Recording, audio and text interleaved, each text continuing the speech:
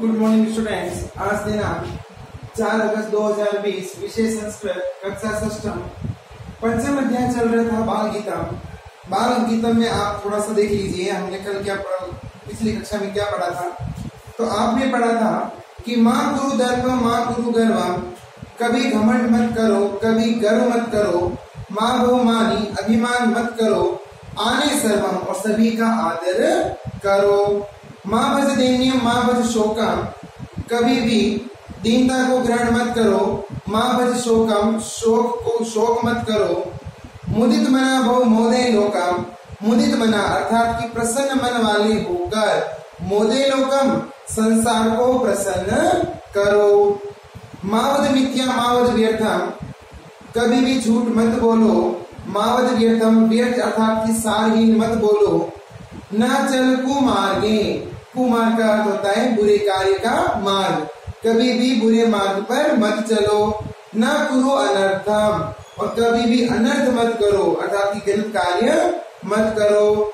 पाही अनाथम, जो अनाथ हैं, जिनका संसार में कोई नहीं है, उनकी रक्षा करो, जो भयभीत है, उनकी रक्षा करो। पाले दीनम, और जो दीन दुखी हैं, जिनके पास खाने के लिए भोजन भी नहीं है, पहनने के लिए वस्त्र भी नहीं है हमें उनका यथा संभव जो है, वो पालन करना चाहिए। लाले प्रेम करो। जननी जनक विहीनम। और जिनके माता पिता नहीं है, जो माता पिता से विहीन है, हमें सदैव उनके प्रति स्नेह और प्रेम रखना चाहिए। तो आपने इन दोनों को पढ़ा था। इसके बाद हमने जो है, इनका हिंदी अनुवाद किया था। आज हम जो है, वो शब्दार्थ करने जा रहे हैं। तो देखिए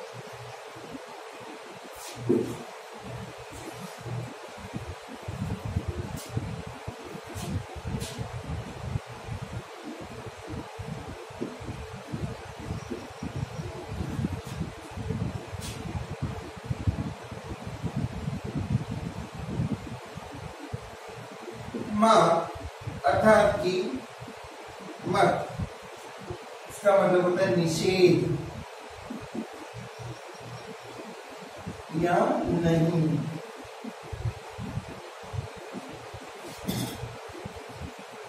नंबर दो। दर्पम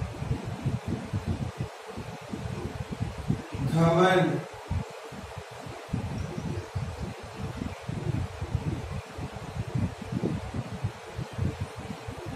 अब बनो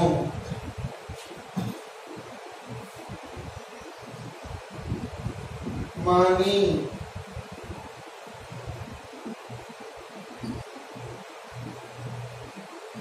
अभिमानी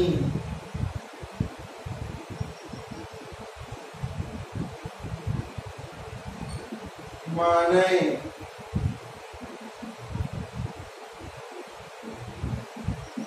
आदर करो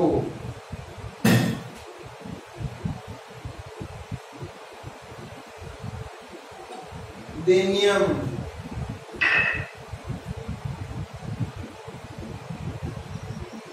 दीनता को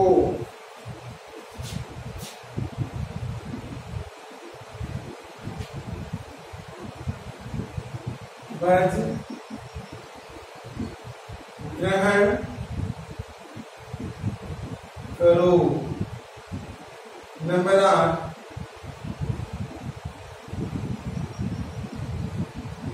मुदित मना प्रसन्न मन वाले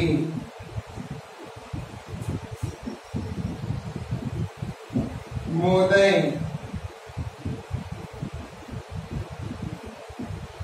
प्रसन्न करो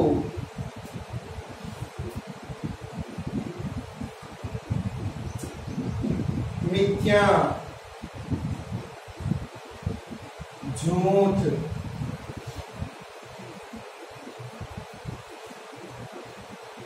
व्यर्थम।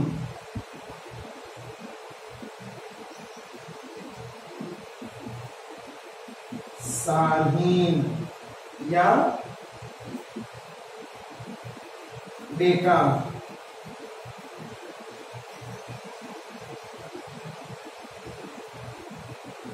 पाही रक्षा करो।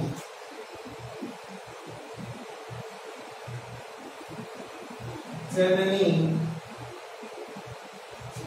जनक। विहीनम माता। पिता से। वंचित। इस तरह से जो है, पहले आप शब्दार्थ कर लीजिए, उसके बाद हम आगे बात करते हैं। शब्दार्थ सबसे पहले माँ। इस माँ में और इसमें फ़र्क है। देखिए, यहाँ एक तो ये होता है और एक होता है ये। इसका अर्थ है जननी। और इसका मतलब होता है मत। या मना करना। या नहीं करना। इसका अर्थ होता है। तो माँ का अर्थ है मत या निषेध या नहीं। दर्पम का मतलब है घमंड भव का अर्थ है बनो मानी का अर्थ है अभिमानी माने का अर्थ है आदर करो देनियम का अर्थ है दीनता को भज का अर्थ है ग्रहण करो, मुदित मना का अर्थ है प्रसन्न मन वाले मोदय का अर्थ है प्रसन्न करो मिथ्या का अर्थ है झूठ व्यर्थों का अर्थ है सारहीन या बेकार पाही का अर्थ है रक्षा करो, और जनक जननी विहीनम का अर्थ है माता पिता से वंचित। ये आप पहले नोट डाउन कर लीजिए, फिर हम आगे बात करते हैं।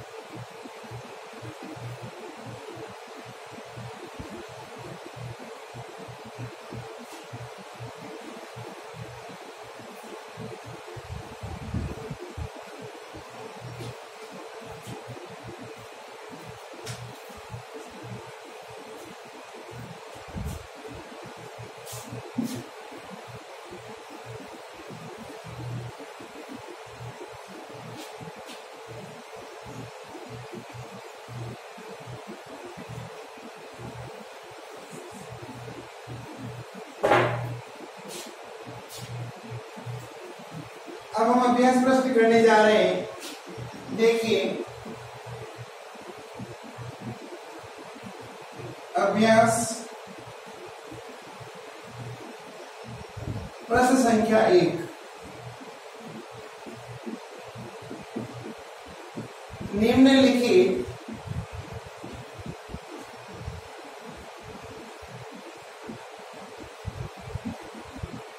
वाक्यों में कर्म जोड़िए। निम्नलिखित वाक्यों में कर्म जोड़िए।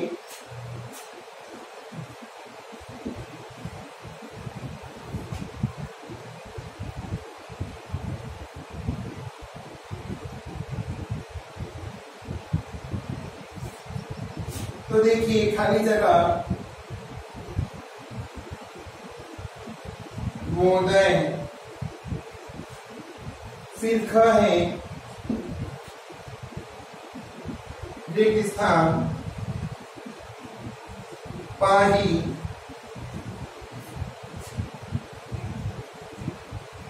फिर स्थान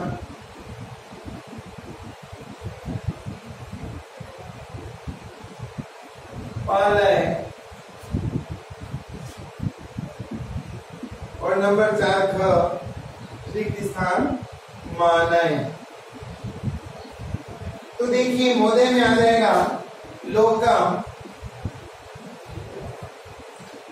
पाही में आ जाएगा अनाथम पाले में आ जाएगा दीनम और माने में आ जाएगा सर्वम।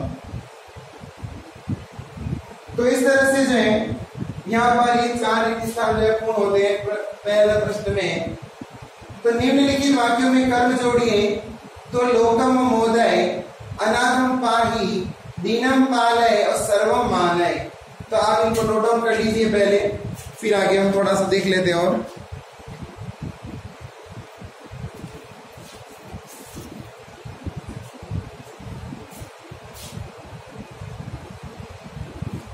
दूसरा कहता है।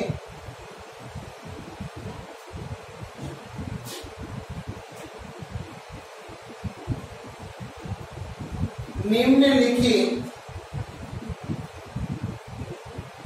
पंक्तियों।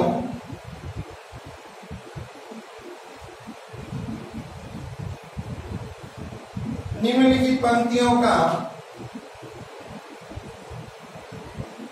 हिंदी में।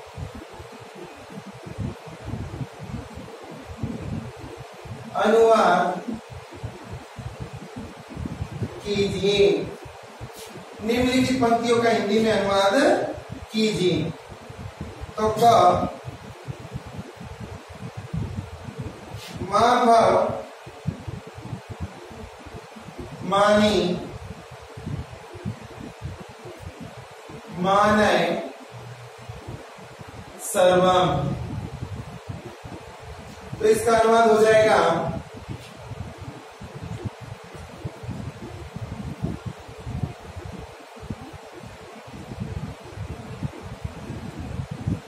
अभिमानी मत बनो।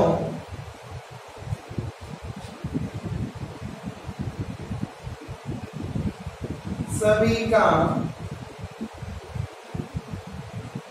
सम्मान करो।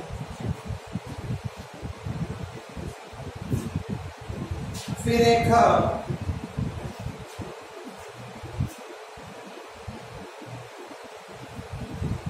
पाही अनाथम। पालय दीनम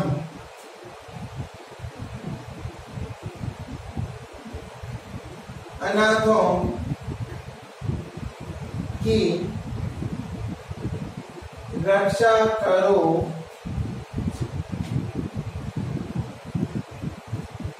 दीन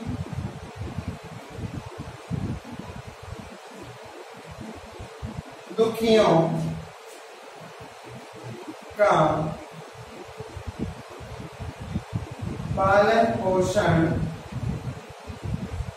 करो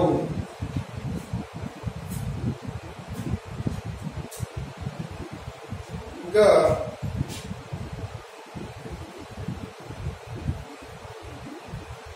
माँ कुरु दर्पम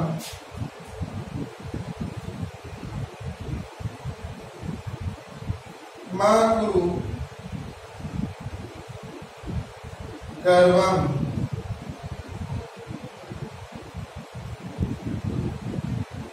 घमंड मत करो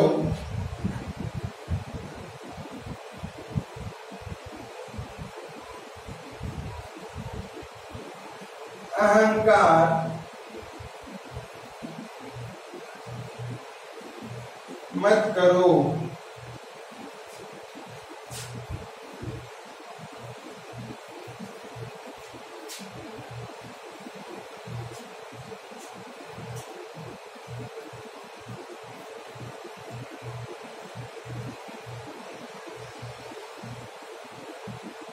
न चल कुमार्गे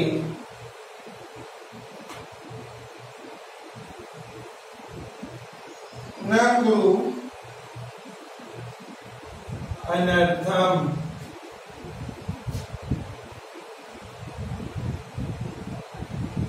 पूरे मार्ग पर मत चलो बुरे कार्य मत करो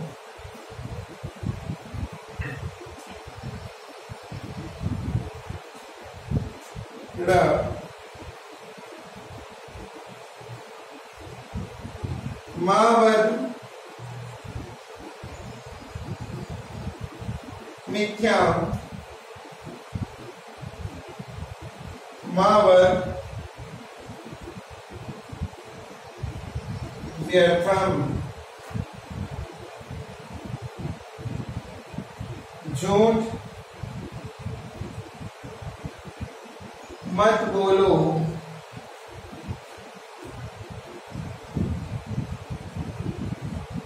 सारहीन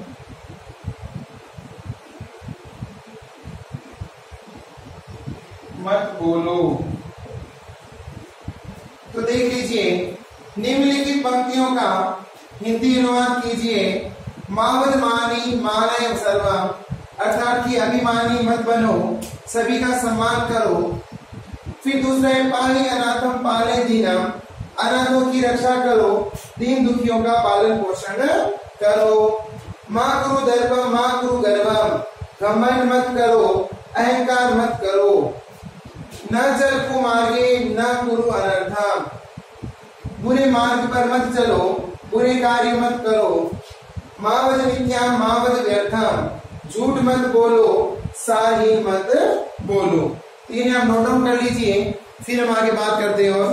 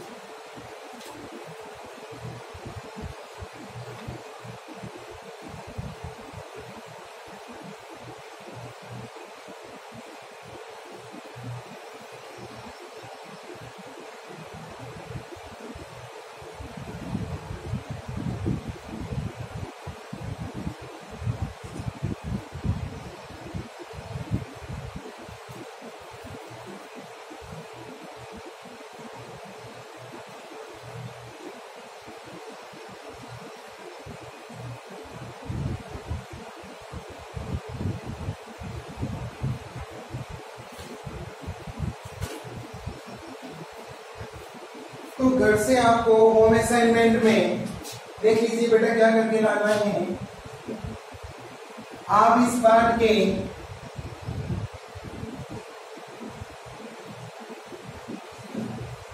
पंचम पाठ